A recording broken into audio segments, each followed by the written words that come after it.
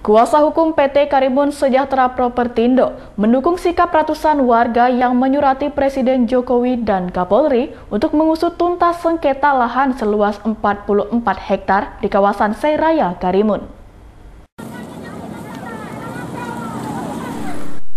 Menyikapi aksi ratusan warga yang berunjuk rasa dan menyurati Presiden Jokowi dan Kapolri untuk mengusut tuntas sengketa lahan di Seraya, Kuasa hukum PT KSP Wirianto menyatakan bahwa dirinya mendukung upaya warga. Dengan disuratinya Presiden dan Kapolri, maka aparat penegak hukum di Kepri akan bertindak untuk menegakkan kebenaran.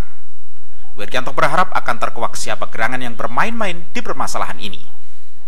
Dari masyarakat juga menyurati sampai ke Presiden, sampai ke Kapolri, itu kita juga bersyukur. Kita maunya seperti itu. Kita juga menghimbau atau kita apakan kepada Kapolri, kepada uh, kepada Kapolda eh kalau bisa untuk benda tegas ini benda tegas siapa di belakang yang bermain tanah yang ada di KSP ini sehingga mereka sungguh sangat berani sekali menguasai lahan-lahan yang ada uh, orangnya dan ada sertifikatnya di situ mereka sudah jelas bahkan mereka sudah tahu nih ada sertifikatnya Ternyata selain untuk menuntut pihak BPN membatalkan sertifikat hak guna bangunan milik PT KSP, ternyata aksi unjuk rasa dilakukan karena isu kehadiran sejumlah alat berat perusahaan untuk menggusur warga.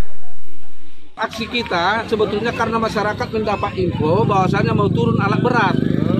Jadi kalau memang benar-benar turun alat berat ya kita harus mengadakan perlawanan. Turunkan alat berat katanya mau ngapain Pak? Mau gusur, mau gusur masyarakat. masyarakat Atau mau udah ratakan nggak tahu lah kita. Ratusan warga mengaku akan tetap bertahan meski mereka telah menerima somasi dari perusahaan yang meminta untuk segera mengosongkan area lahan. Iwan Mohan dan Edi Kencana, iNews melaporkan.